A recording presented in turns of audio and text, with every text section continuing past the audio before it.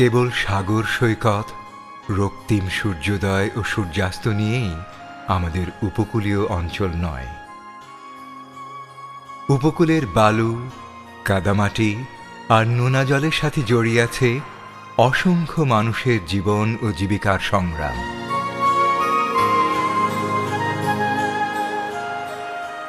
বাংলাদেশের মোট জনগোষ্ঠীর প্রায় এক চতুর্থাংশের বসবাস এই উপকূল অঞ্চলে।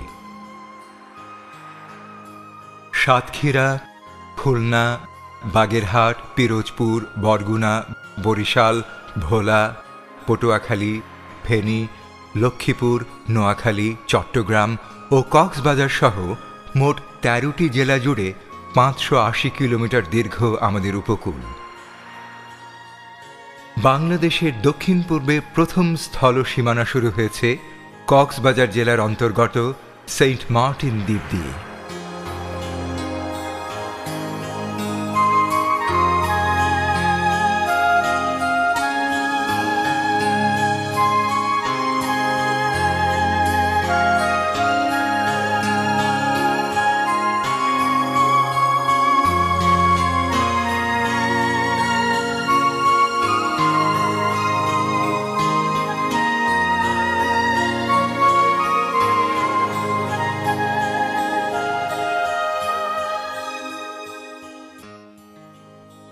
বাংলাদেশ, মিয়ানমার সীমানা সংলগ্ন এদেশের একমাত্র দ্বীপ যেখানে প্রবাল পাওয়া যায়।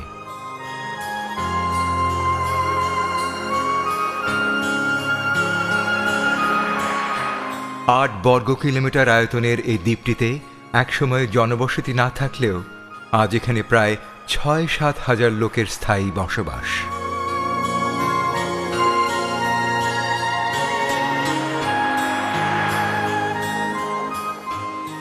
স্থানীয় লোকদের বেশিরভাগ মাছ ধরা এবং তা প্রক্রিয়াজাতকরণের সাথে জড়িত।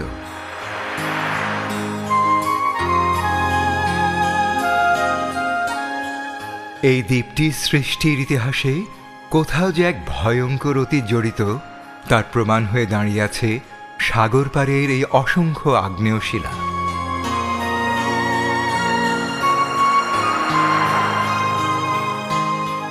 এই পাথর আর প্রবালের মাঝেই খাদ্য আর আশ্রয়ের সন্ধানে ঘুরে ফেরে অসংখ্য রঙিন সামুদ্রিক মাছ ও তাদের রেণুপোনা। আমাদের উপকূলের অন্য সব অঞ্চল হতে এই অঞ্চলটি স্বতন্ত্র।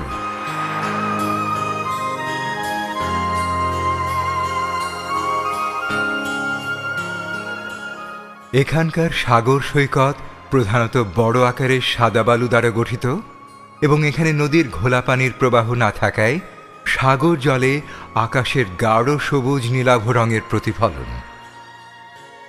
এই দ্বীপটির পরিবেশগত গুরুত্ব কম নয়। উল্লেখ্য, উনিশশো নিরানব্বই সালে পরিবেশ ও বন মন্ত্রণালয় এক প্রজ্ঞাপন জারির মাধ্যমে এই দ্বীপটিকে পরিবেশগত সংকটাপন্ন এলাকা হিসেবে ঘোষণা করে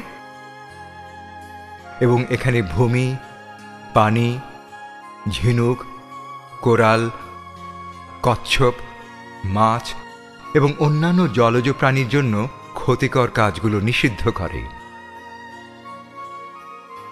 পৃথিবী হতে বিলুপ্তপ্রায় সামুদ্রিক কাছিম, অলিভ রিডলি সহ আরও বহু প্রজাতির সামুদ্রিক কচ্ছপের প্রজনন এলাকা এই দ্বীপের সৈকত। আবার বহু প্রকার কাঁকড়ার বসবাসও এই দ্বীপে।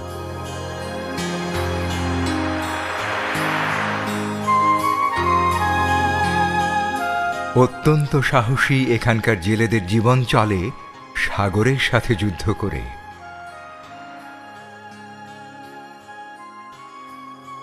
সাগর আর নাফ নদীর মোহনা পাড়ি দিয়ে বাংলাদেশের মূল ভূখণ্ডের প্রথম সীমানা কক্সবাজার জেলার অন্তর্গত টেকনাফ উপজেলা। এই উপজেলাটির পূর্বে মিয়ানমার বাংলাদেশ সীমানা বরাবর নাফ নদীর অবস্থান আর পশ্চিমে বঙ্গোপসাগর। একসময় এখানকার চাষিরা কৃষি নির্ভর হলেও আজ এখানকার বহু চাষি লবণ চাষে উৎসাহী। লবণ চাষ ধান চাষ হতে বেশি লাভজনক হওয়ায় ক্রমেই এখানকার আবাদি জমি রূপ নিয়েছে লবণ চাষের জমিতে।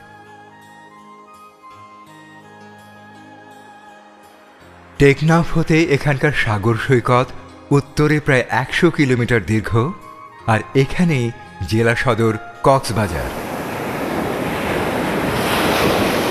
বাংলাদেশে পর্যটন শিল্পের প্রাণকেন্দ্র।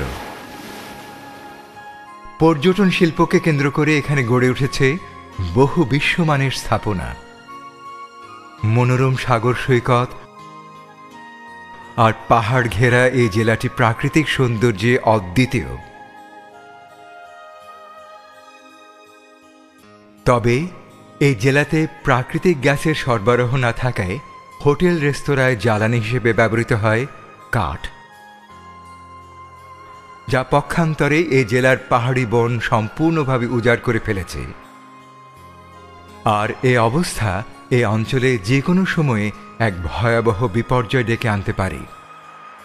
কেননা, পাহাড়ি ভূমিধসের প্রধান কারণ হচ্ছে পাহাড়ি বন উজাড় হওয়া। পৃথিবীর দীর্ঘতম সমুদ্র সৈকত কক্সবাজারের সৈকত। সরকার উনিশশো নিরানব্বই সালে কক্সবাজার টেকনাফ সমুদ্র সৈকতের দশ হাজার চারশো পঁয়ষট্টি হেক্টরকে পরিবেশগত সংকটাপন্ন এলাকা হিসাবে ঘোষণা করেছে এবং এই সৈকতের পরিবেশ ব্যবস্থার ক্ষতি হয় এমন সব কাজ সম্পূর্ণ নিষিদ্ধ করেছে। সরকারের নীতি নির্ধারণে এই সমুদ্র সৈকতের নৈসর্গিক সৌন্দর্য ও প্রাকৃতিক পরিবেশ অক্ষুণ্ণ রাখা এবং দেশি বিদেশি পর্যটকদের আকৃষ্ট করার বিষয়টি বিশেষ গুরুত্বের সাথে আলোচিত হয়েছে। দু হাজার সালে পরিকল্পনা কমিশন এই সমুদ্র সৈকতে যে কোনো ধরনের স্থাপনা নির্মাণ নিষিদ্ধ করেছে। যদিও অপরিকল্পিত নির্মাণ বা আগ্রাসনের ফলে কক্সবাজারের সমুদ্র সৈকত দিন দিন আকর্ষণ হারাচ্ছে। পর্যটন শিল্প বাদেও অর্থনৈতিক কর্মকাণ্ডের জন্য অত্যন্ত গুরুত্বপূর্ণ এই সমুদ্র। গভীর সমুদ্র হতে মাছ আহরণে কক্সবাজার একটি গুরুত্বপূর্ণ উপকূলীয় কেন্দ্র। এই অঞ্চল হতে প্রতি বছর সংগৃহীত হয় হাজার হাজার টন সামুদ্রিক মাছ। আবার কক্সবাজারকে বলা চলে এদেশের চিংড়ি শিল্পের প্রাণকেন্দ্র।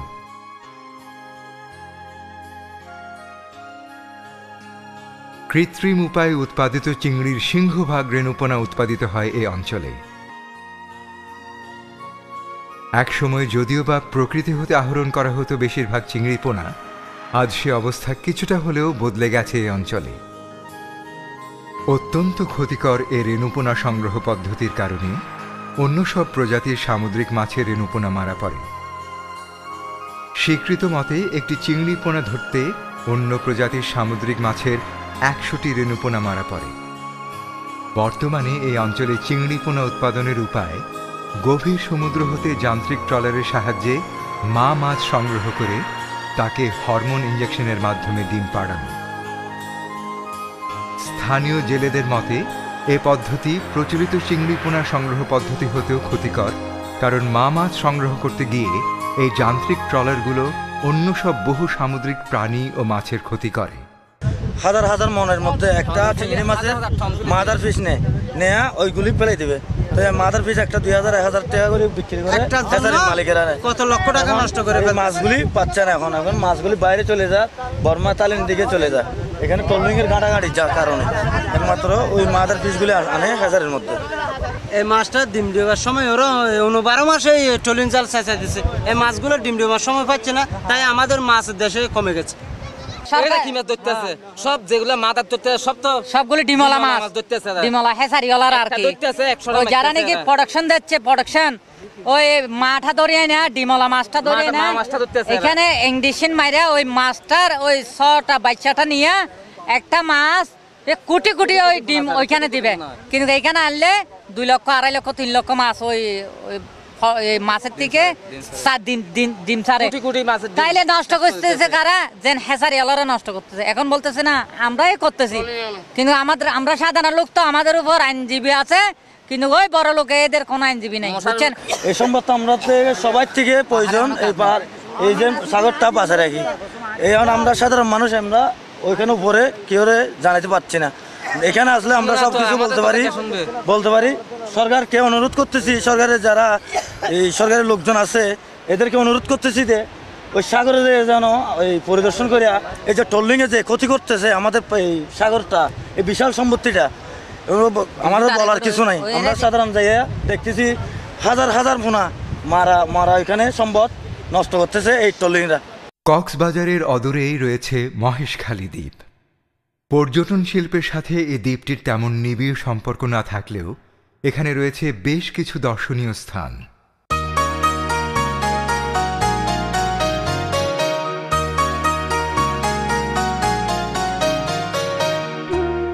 ভিন্ন ভিন্ন গোত্র আর ধর্মবিশ্বাসীদের মধ্যকার সম্প্রীতি ও সহ অবস্থানের নমুনা হয়ে পাশাপাশি দাঁড়িয়ে আছে দুটি ধর্মীয় প্রতিষ্ঠান।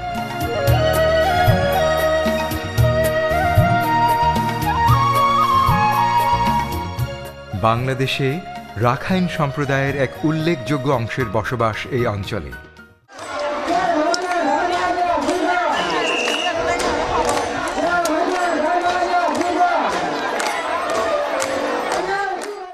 মহেশখালীর বিস্তীর্ণ এলাকায় রচিত হয়েছিল উপকূলীয় বন, যার উদ্দেশ্য ছিল নতুন জেগে ওঠা চরগুলোকে স্থিতি দেয়া এবং চরাঞ্চলে বসবাসরতদের প্রাকৃতিক দুর্যোগ থেকে রক্ষা করা। কিন্তু ভূমিদস্যুদের মুনাফার লোভ আর অপরিকল্পিত কার্যকলাপের ফলে বিস্তীর্ণ উপকূলীয় বন ধ্বংস হচ্ছে। দরিদ্র উপকূলীয় মানুষগুলি উনিশশো একানব্বই সালের ভয়াবহ সাইক্লোনের মতো দুর্যোগের মুখোমুখি হচ্ছে। আর এলাকার তথা দেশের পরিবেশ ও প্রতিবেশ ব্যবস্থা ক্রমান্বয়ে সংকটাপন্ন হচ্ছে। এই এলাকার সোনাদিয়া দ্বীপ পরিবেশগত সংকটাপন্ন এলাকা ঘোষিত হলেও ভূমিদস্যুদের হাত থেকে মহেশখালীর উপকূলীয় বনের ধ্বংস রোধ করা যাচ্ছে না।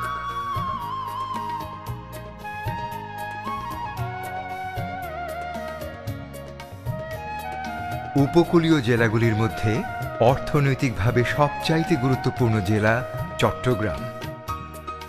আর এখানেই রয়েছে বাংলাদেশের প্রধান নৌবন্দর, বহির্বিশ্বের সাথে বাংলাদেশের প্রধান যোগসূত্র।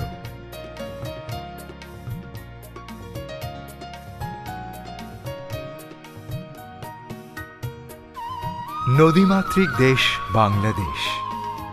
প্রায় দুইশো তিরিশটি নদ নদী ও অসংখ্য শাখা নদী ছড়িয়ে আছে জালের ন্যায় সারা দেশ জুড়ে।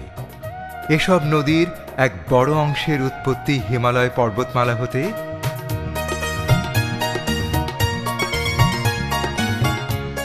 আর সমাপ্তি বঙ্গোপসাগরে। উজানে কোথাও খরস্রোতা কিংবা শীর্ণরূপ হলেও ভাটি অঞ্চলে এসে প্রশস্ত আর উত্তাল।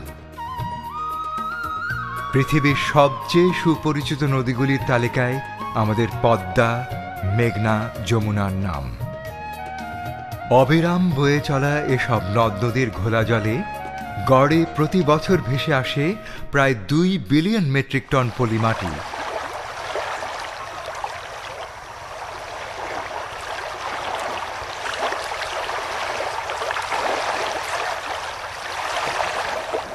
যার সিংহভাগের শেষ গন্তব্য আমাদের উপকূল। আর এভাবেই আমাদের উপকূলে গড়ে উঠেছে অসংখ্য চর বা দ্বীপ। এখানে রয়েছে বহু সুপ্রতিষ্ঠিত পুরাতন দ্বীপ, যেমন সন্দ্বীপ, হাতিয়া, মনপুরা, ভোলা। আবার তার পাশাপাশি রয়েছে অনেক সদ্য জেগে ওঠা চর, যেমন নিঝুম দ্বীপ চর শাহজালাল ঢলচর সহ আরও অনেক দ্বীপ। এই দ্বীপগুলোর কোনো কোনোটিতে জনবসতি গড়ে উঠলেও বেশিরভাগ দ্বীপই আজও জনবসতি স্থাপনের অযোগ্য। কারণ এগুলো এখনও সম্পূর্ণভাবে জেগে ওঠেনি। তবে নতুন কি পুরাতন এখানে কোনো চরের অস্তিত্বই চিরস্থায়ী নয়। নদী প্রবাহের গতি পরিবর্তন কিংবা সাগর স্রোত প্রবাহ পরিবর্তন খুব অল্প সময়ে বদলে দিতে পারে এসব চরের অবস্থান ও আকার। তাই প্রতি বছর হাজারো মানুষ ক্ষতিগ্রস্ত হয় প্রকৃতির এই ভাঙা গড়ার খেলায়।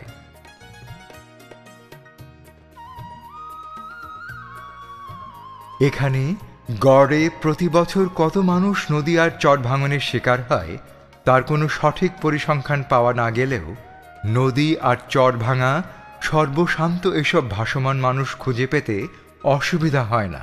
সারা বছর নৌকায় থাকেন? বর্ষার সময় কি করেন? বর্ষার সময় কিন্তু বাড়ি আছে ওই যাই সময়। কি আগে কি জমি জমা ছিল? আগে যে জমি জমা ওই জন্য দাদা তালের আছে সেই নদী ভাঙিয়ে নিয়ে গেছে তারপর আর করতে পারিনি এই অঞ্চলের বেশিরভাগ মানুষের জীবন চলে মাছ ধরে।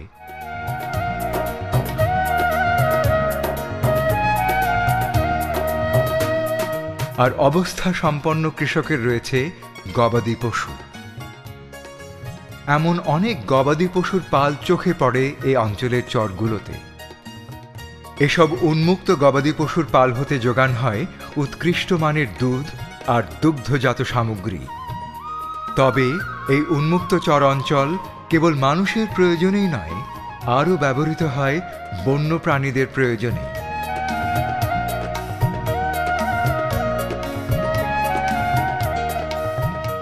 শীতে এ অঞ্চল ভরে ওঠে উড়ে আসা লাখো পাখিদের কলকাকলিতে।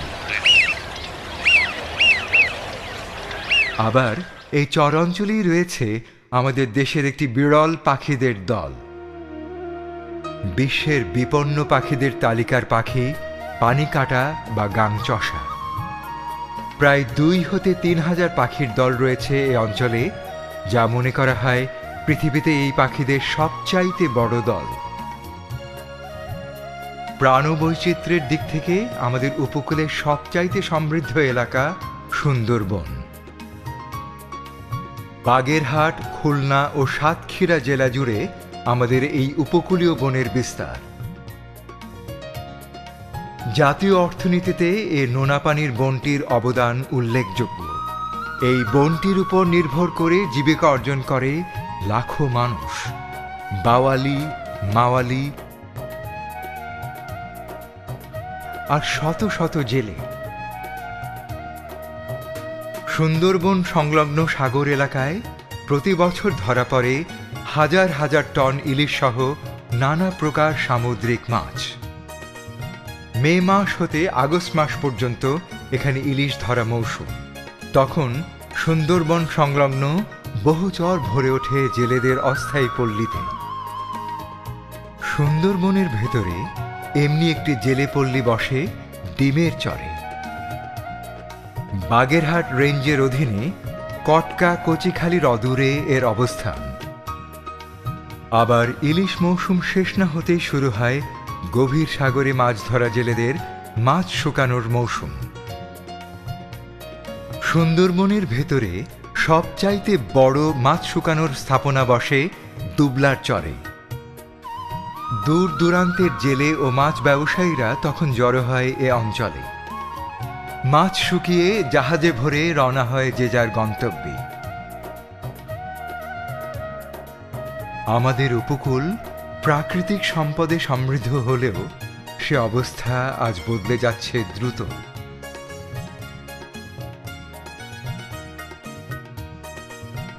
পরিবেশ বিরোধী বহু কর্মকাণ্ড নিঃস্ব করে ফেলছে আমাদের এই সমৃদ্ধ প্রাকৃতিক ভাণ্ডার। এক সময়ে যেখানে এসব প্রাকৃতিক সম্পদ আহরণ করে জীবিকা নির্বাহ করত লাখো মানুষ আজ সেই সম্পদ রক্ষায় আমাদের অবহেলা, উদাসীনতা আর লোভের কারণে এসব প্রাকৃতিক ভাণ্ডার প্রায় শূন্য। যা পক্ষান্তরে এ অঞ্চলের মানুষকে ঠেলে দিয়েছে এক অনিশ্চিত ভবিষ্যতের দিকে। বহু উপকূলীয় অঞ্চল আজ পরিবেশ বিপর্যয়ের মুখোমুখি। তেমনি একটি উপকূলীয় জেলা সাতক্ষীরা। কৃত্রিম উপায়ে চিংড়ি চাষ এখানকার মুষ্টিমেয় মানুষের ভাগ্য পরিবর্তন করলেও সংখ্যাগরিষ্ঠ জনগোষ্ঠীর জীবনমানের তেমন লক্ষণীয় কোনো পরিবর্তন করেনি। কেবল ধনী আর দরিদ্রের তারতম্য আরও প্রকট করেছে। আমাদের এক কথায় এইসব ছেলেপিলে এই যখন সকালে জুয়া ভাটা হবে না তখন এরা গাঙে যে এই পোনা ধরার জন্য নামবে। আবার যখন জুয়ার হবে তখন চলে আসো হাতে দেখা যায় দশ টাকা কামাই না বিশ টাকা না আবার মোটে হয় না। আমার এই সাত টাকা। আপনার মাত্র ইনকাম হয়েছে সাত টাকা। গতকালকে কয় টাকা হয়েছিল? তিরিশ টাকা। গতকালকে তিরিশ টাকা। আপনার? আজকে হয়েছে বিশ টাকা। ওই এইরকমই কামাই। চিংড়ি চাষের কারণে এখানকার বহু প্রান্তিক বর্গা চাষী পরিবার আজ নিঃস্ব। এমনকি বাড়তি আয়ের বিকল্প পথ হিসেবে গবাদি পশু পালবারও উপায় নেই গোচরণ ভূমির অভাবে। কি নাম আপনার? আমার নাম মোহাম্মদ সাহেব আপনার বাড়িতে দেখতেছি গরু। এই গরুর খাবার জোগান থেকে ওই ফল কিনে। ফল কিনে গরু পোষা যায়? এই ঘেরাবার থেকে গরু। আস্তে আস্তে মানে ঘের টের হয়ে গেছে বুঝলি গরু গরু পরে সব মারা সারা দিচ্ছে খাবার দাবার জানা ঠিক মতন বুঝলি। মানে ঘেরের কারণে গরুর খাবার পাওয়া যায় না? না। এদের জীবন ধারণের একমাত্র উপায় আজ প্রকৃতি হতে চিংড়িপোনা ধরে ঘের মালিকদের কাছে বিক্রি করা যা আইনত দণ্ডনীয় অপরাধ। প্রকৃতি হতে চিংড়িপোনা ধরা এখানে নিষিদ্ধ হলেও এসব মানুষের এই চরম অবস্থা বিবেচনা করে আইনের প্রয়োগ সম্ভব হচ্ছে না। যা পক্ষান্তরে এই অঞ্চলের প্রাকৃতিক ভাণ্ডারকে আরও শূন্য করে তুলছে। এক সময়ে এই অঞ্চলের জেলেরা ধরত বড় মাছ, আজ তাদের অনুসারীরা ধরছে মাছের পোনা। লাভ ক্ষতির হিসেবে এই প্রান্তিক মানুষগুলোই হারে বারবার উপকূলের আরেকটি ক্ষতিগ্রস্ত অঞ্চল, কক্সবাজার জেলার অন্তর্গত চকরিয়াদ উপকূল। মাত্র পনেরো বছরের কম সময়ে সম্পূর্ণরূপে ধ্বংস হয়েছে এই উপকূলের নোনাপানির বন। এটা অনেক বন ছিল, কিন্তু আমরা ছোট ছিলাম। উনিশশো সাতাশি সাল পর্যন্ত দেখছিলাম বন এরপরে হাত হাল শ্বাস করতেছে, লবণ শ্বাস করতেছে সিন্ডি পকেট করতেছে বন টন খেটে ফেলেছে আর কি। এর দিন আমিও সাথে নিয়ে করে একটা বান্দর ধরতে গেছিলাম, ওইখানে, এরার মধ্যে। ওই বান্দর সবাই মিলে আমাকে টাইনে টাইনে ওইখানে নিয়ে গেছিল। আমার মাথায় এখনও ফাটা আছে একটা বান্দরের ফাটা। এরকম দেখছি আর কি। আজ এই সম্পূর্ণ অঞ্চল জুড়ে লবণ চাষ হয়।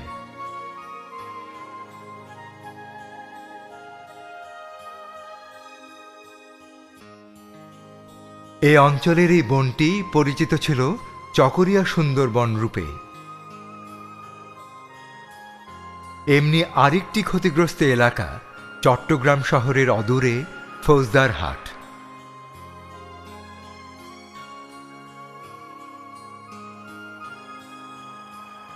এখানে পুরাতন জাহাজ ভাঙা শিল্প, নির্দ্বিধায় জাহাজ ভাঙা বর্জ্য ফেলছে সাগরে, যা দূষিত করছে এই সম্পূর্ণ এলাকার উপকূল।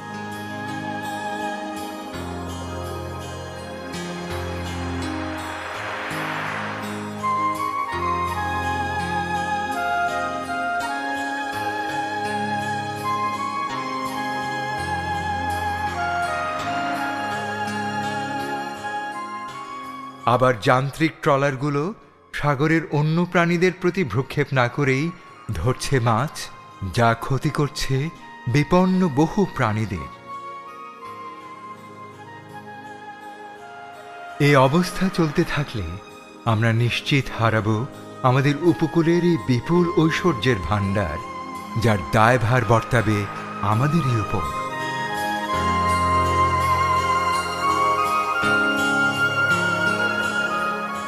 এবং এর প্রভাব পড়বে উপকূলের এই বিশাল জনগোষ্ঠীর জীবনে।